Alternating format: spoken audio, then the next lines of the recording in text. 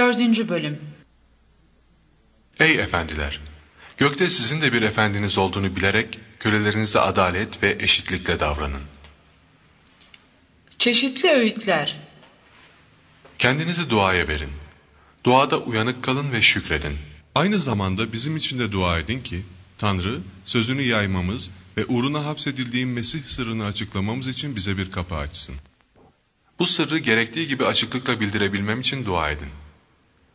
Sizden olmayanlara karşı bilgece davranın. Fırsatı değerlendirin.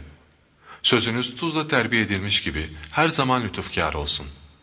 Böylece herkese nasıl karşılık vermek gerektiğini bileceksiniz. Son selamlar. Rab yolunda emektaşım ve güvenilir bir hizmetkar olan sevgili kardeşimiz Tikus, benimle ilgili her şeyi size bildirecektir. İşte bu amaçla durumumuzu iletmesi ve yüreklerinize cesaret vermesi için kendisini size gönderiyorum. Onunla birlikte sizden biri olan güvenilir ve sevgili kardeş Onesimus'u da gönderiyorum.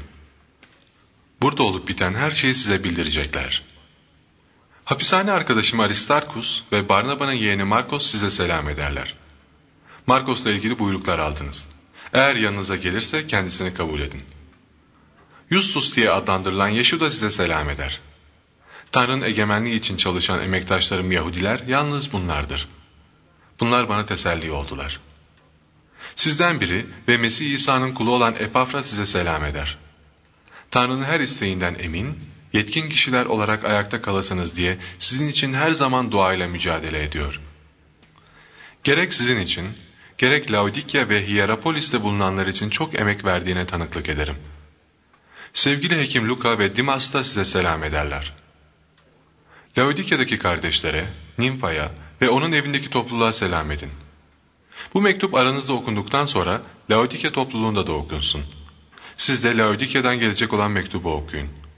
Arkipus'a şunu söyleyin. Rab yolunda üstlendiğin görevi tamamlamaya dikkat et. Ben Pavlus bu selamı kendi elimle yazıyorum. Zincire vurulduğumu unutmayın. Tanrı'nın lütfu sizinle birlikte olsun.''